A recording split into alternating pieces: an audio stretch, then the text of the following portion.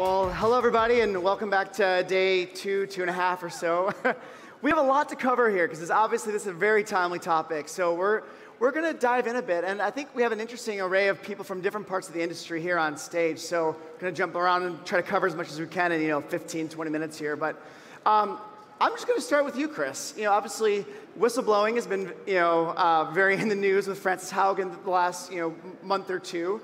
Um, you were one of the first to come out and talk about everything that's been going on with Facebook early on with Cambridge Analytica years ago, and uh, I remember reporting on that at the time. How does that feel, you know, a few years later to see where the industry has come, where the, the, the data privacy discussion has come uh, since then? Yeah, so, um, Your mic's think, not working. I think your mic might be off, yeah. maybe ask somebody else. Well, do we have maybe a spare mic or something like that? But um, we're, we're going to come back to that then in, in, a quick second. I want to circle back around. Um, oh, Actually, One moment. technical difficulties. It's a tech conference. no, it's great. There, does that work? Oh, okay. Awesome. All right, Yeah. well, okay. Um, so uh, I, I think in, in terms of my whistleblowing, it sort of, I think, helps mainstream a conversation about data protection and privacy. In terms of where we are in the, the sort of debate, I mean, with the new whistleblowing, it feels like deja vu. Uh, really, for me personally, deja vu, like Senate hearings and all this. And we're just talking about the same thing over and over and over again. So, uh, you know, I think we're sort of stuck in this loop. And I think one of the problems is it's clear that there's a lot of problems, um, and those are constantly being discussed, but we sort of are missing a conversation about solutions and frameworks for regulation and industry practice. So- So it's, uh, that's a good point. It's interesting to see kind of where the industry has come and, and, and also, like I said, not come since then. You know, like I said, it feels like the cyclical cycle. Uh, Carolina, I know that um, you know, NYIAX has been thinking a lot about um, on the ad tech front. How do you kind of go beyond to give companies a better solution that protects data, but also um, keeps publishers and everything else, you know, monetized through advertising? well, as you know, and we've talked about this before, what NYIAX has is it's a compliance system. So we, all, we work with people that are compliant in their privacy aspects, and we make sure of that through um, looking at their, all, their full technology stack and also with certain waivers that are in. So we're working with publishers that um, are direct, and also with programmatic that are adhering to all privacy standards. So we're not taking basically, it's a more curated market, and we're not taking many of the mom and pops that are looking at the broad spectrum of the advertising industry. So in a very curated market, you can create that sort of transparency for the agency and advertiser. Sure. Uh, Brendan, uh, you know, you're at Mozilla as one of the founders of that before, uh, starting Brave. Um, so obviously Mozilla has, has been also one of the browsers that's been pushing for privacy as an, as an organization as well, and you're doing the same as, with Brave too. But tell us a bit about the way that you're thinking about founding companies and organizations right now, and, and how has that gotten traction over the last couple of years? Yeah, Brave um, started in 2015 in stealth mode, but I was talking to a lot of people in New York, mainly about um, ad tech. I talked to publishers. Um, I talked to Jim Spanfeller, who used to be the Forbes publisher. he said, you should block everything. So we did, um, because we realized that my creation from 1995, my bad millennial JavaScript, had turned into sort of a, a monster. It was used to track everybody, and it was used to arbitrage and do ad exchange mainly through Google in a way that wasn't helping publishers enough, had a lot of fraud problems for advertisers. So Brave cut out that huge middle player section, and we do direct ad sales, we do ad matching privately in the browser, no data collection. It's not an exchange, it's just a catalog every day that's updated with offers and matched against your data feeds in your browser. Everyone has them when you browse. All your browsers know about you, but it's all local and then we use cryptographic protocols to confirm the ad impressions. So we built something that was out there on the extreme end. Other browsers and platforms are moving toward where we are, so it's been easier over time. When we started, it was very difficult. We were either, they were going to call security on us because we blocked ads by blocking tracking, or they, they said, well, you know, can't you just give me better deals and get those people who block ads to let my ads through? And we do have a way to do that, but it's based on consent. If we, if we tried to do it the way it's done, we wouldn't have any scale, and we wanted to do it privately with consent. So the world has moved toward that. It's been gratifying, but it's taken six years, you know. Yeah. And um, uh, Diana, so with Constellation, you, have been on, on the SaaS side of this, and uh, tell us a bit more about what you guys have been building. Yeah, so we have a SaaS technology that makes thousands of creative designs programmatically. Uh, we believe that the future of creative is really done through feeding systems, and because Google and Facebook has already gone that way, uh, integrations to Snapchat, Twitter, uh, as well as Pinterest are happening now. Um, I think that one of our frustrations in the area of data privacy is that I believe that transparency clears all conflicts. Um, and what I mean by that is, uh, you know, currently with iOS 14 changes and iOS 15 changes, um, we're all being asked, do you want tracking? And at the end of the day, that's not the question that should be being asked right now. Uh, people are not asking you whether you want advertising. You're getting advertising whether you want it or not. It's basically, do you want personalized advertising or do you want broad advertising? And so transparency would be more so asking, do you want personalized advertising or broad advertising? But that's not how it's actually presented. And I believe that the future of all of this is that the big techs are only getting bigger because more data is being captured by them that no longer becomes sellable data to anyone else out there. And what does that mean? That means Apple, Amazon, Google, Facebook all get bigger with data, and smaller companies can never catch up into the data aspects of things. And in the end, Apple can now say, hey, I have an advertising platform, and if you want to basically use first party data of Apple, then you now have to advertise with us. So that's the transparency that's not being said right now, and it is frustrating being a, a third party partner watching this. Yeah. So thinking about transparency, and you brought up some good questions. Yeah. You know, where it's you know, uh, you know, people want to have, and some some people want to have personalized ads. Some people have, want to have no ads. Um, and but the, the, the, education thing seems to be lacking. If you're looking at the average person doesn't want to read, you know, pages and pages of. Uh, you know, consent forms for every website they go to, you know, but um, so it seems like a lot of people are either going to just quickly say no, and other people are going to say, sure, I trust this place, you know. Um, but Chris, when you're thinking about uh, just the role of transparency and the role of the education, you know, obviously Cambridge Analytica brought a lot of this to light. Uh, we've seen the last month or two with different issues, but some similar issues with, with, uh, with Facebook and the Facebook papers. Uh, another, just yesterday, you know, there was a European commissioner that was here. She was talking about how whistleblowers like yourself and Frances Haugen help to show the need for regulation and, uh, and, and why, uh, if people aren't talking about it, these things get so in the weeds. And so I'm kind of curious, what do you think when you're thinking about the transparency education part of this? So, can people hear me? Is it on now? It's yeah, on it's on. Yeah. Okay, great. Um, I think that, uh, with respect, the, the, the conversation around transparency completely misses the point. Because in no other sector do we put the onus on consumers to understand incredibly intricate technological constructions. You know, you, you don't when you when you go onto an airplane or you take a drug or you know there's no terms and conditions and actually you don't know what's in the drug that your doctor is prescribing you mm-hmm. right because there's a there's a competent regulator that looks at a framework of safety and what's in the best interest of people and so i think when it comes to um, regulatory frameworks or what we can start to, to think about rather than putting the onus on the end user, we should come up with a standard set of, if you like, social terms and conditions that we as a society agree with. This is appropriate, this is not appropriate. So that, because realistically, users opt into stuff that they have no idea what they're opting into. Even if they say they want personalized advertising, they don't actually know what that actually means specifically in terms of the, the, where their data actually goes. And it's unreasonable to expect that the average person should know that.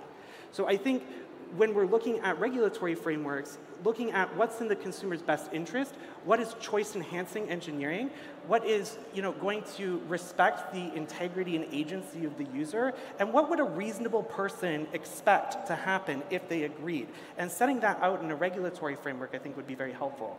Sure. Uh, See, like, I couldn't tell that the applause is from here or some, some other room. Yeah, Marty, but it's, it's a very good point. Marty, yeah, can I answer to that? Yeah, go for it. I, with respect, over here, I, I totally agree with many of the things that you've said over there for the downflow of data. But what I disagree with is that somebody's going to come up with a, uh, with a social construct of what I want for my data. Because my data is personal. And having a regulatory body come in, and I'm just looking at the US laws, that's the only place that I am an expert in on that, that piece for privacy, is that none of the regulatory frameworks are looking at the personalization in that ma manner. Not, at the on the, not on the federal level and not on the state level. So that is not something, at least in the United States, Right. anywhere else, I'm not going to make that uh, distinction on. But it has to be for the individual because but we what are individuals. But what about the social harms that come from it? So when you I look at the agree with but, you, well, yes. if you like, Yes. so you can you can individu- individualize the issue, but like for example, if I'm an insurance company, you opt in Mm-hmm. to for me to use your data, and I use it to create something that ends up taking somebody's healthcare away, right? That harms someone else. When you when you opt into Facebook and you agree for Facebook to use their data, and that creates algorithms that then deceive other people, there is a social impact. So I think when we're talking about data, we can't just think about an individualization of it because data is put into an, a system which has uh, downstream effects. But listen to me, but the, the, the idea that you just brought up, the idea that you just brought up is actually governed in the United States under separate laws. One of which is It's lending not, laws. though. There are other laws that actually deal with that, that are not privacy centric, that are already in place. So So, so why, why is Facebook allowed to get away with what it does then? I'm not saying that we're, we're making it about Facebook. But if When you're saying that there's effective Just, uh, regulation, if there's, It if should be about everything in Yeah. general. And it, this is not about that. And I know that you have very personal ideas on it. But to make a construct that we're going to look at and we're going to say under specific social norms, whose social norms?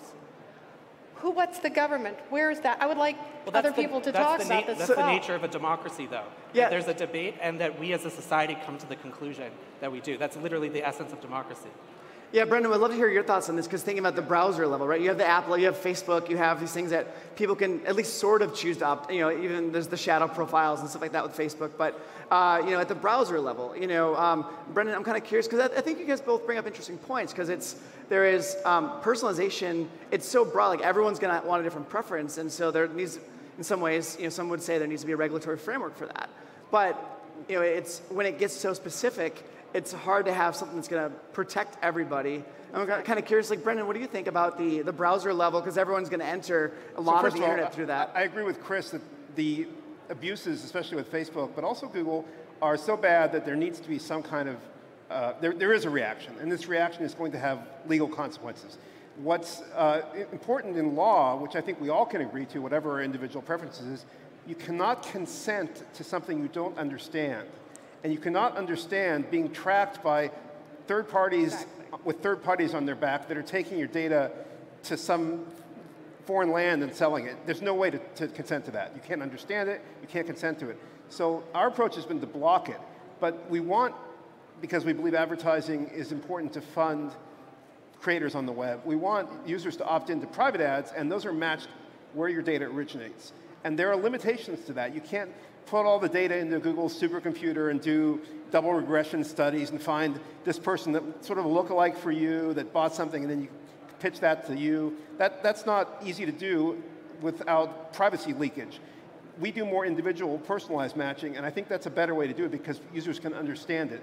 Maybe in the fullness of time, there will be cryptographic protocols that don't leak data, federated learning. There'll be ways to get ideas about people like you that bought something you didn't buy that you might like to learn about without sending your entire data profile out. But that's over the horizon for us. And I think where Facebook and Google operate is there, and that's why they're monopolies. And that's why what Diana said is true. They're consolidating, and that's an antitrust problem. That's not due to privacy regulation. Exactly. That's not due to little old Brave or ad blockers. That, that's due to them taking over markets by tying things together. And Exactly. the only thing I would say is you can't ignore the fact that the big techs are going to get bigger. By all the restrictions that are going out there, they just continue to gather that data and nobody will actually end up catching up. Now, if I was a regulator, I would say, hey, if you basically won't sell that data to anybody else, you can't use the data yourself. That's a great Now that is basically what I would do is like if they can't use it, then maybe the approach that they would make in terms of actually collecting the data would be very different and it would be for the greater good. I believe that is the solve. Because at the end, advertisers advertisers like myself will advertise on platforms that have the most users. At the end of the day, I think you guys have a really great profile, and what you guys are doing is revolutionizing. But we all advertise on the big tech platforms. You You're can't right. avoid it because they're all basically captured all of the users. But hold them responsible by asking them not to use the data if they don't sell that data anywhere else. I totally agree with you. Yeah. Uh, Google, and, I, and I've said this before, Google should be a utility for their data.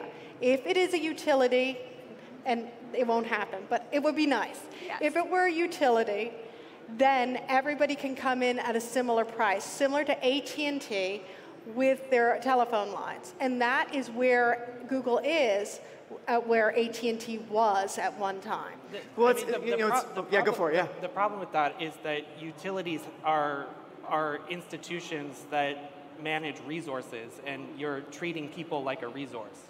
Selling and with, you know, where, where, is, where is the individual and where is the person's rights in this, in this construct that you're setting up with the utility? Utili- using a utility is for water, electricity, et cetera, and implicit in what you're saying is that people can be treated like water or electricity.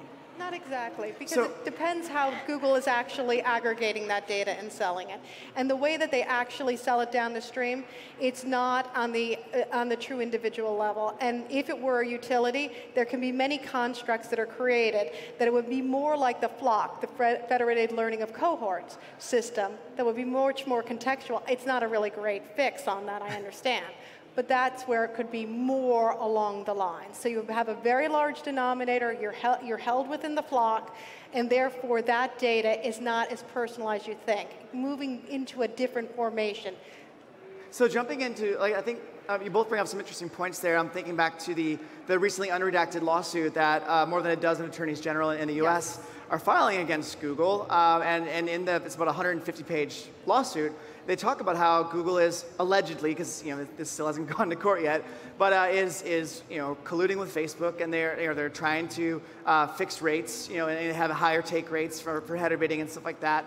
So it's, it's interesting thinking about the, the, the energy metaphor, thinking about utilities and, and how those are run, and there's regulation around these utilities. And so I'm kind of curious, I don't know if anyone wants to weigh in on this lawsuit, if anyone's read it or not, but I'm kind of curious when you're thinking about this company that has thrown its weight around, again, it's an antitrust suit, uh, you know, does it need to be regulated in the same way that uh, a utility runs? And I know you guys have pin- pointed that a little bit, but Brendan or anyone else have thoughts on that?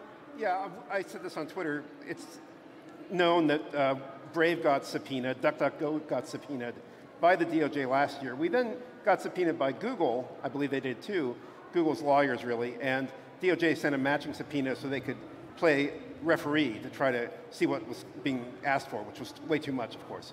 Uh, but Google has done what Microsoft did, you know, and was convicted of 20 years ago. They've, they've tied things together across markets to take a monopoly they naturally acquired in one market, which is search, and Microsoft it was the Windows operating system, and to conquer adjacent or new markets that they didn't have strong products in. Uh, and this shows in all the, the privacy problems that they have, all the price fixing, which is a felony in the US if, under antitrust law, uh, alleged, right? Um, uh, uh, AMP, accelerated mobile pages, ads being made artificially fast by slowing down non-AMP ads. Uh, there's just a lot of dirty laundry that came out two Fridays ago in the unredacted document that a judge forced out. Um, and it's, it's not pretty. Uh, and I, I would like to agree with Chris that people are not resources. People are not, data is not oil.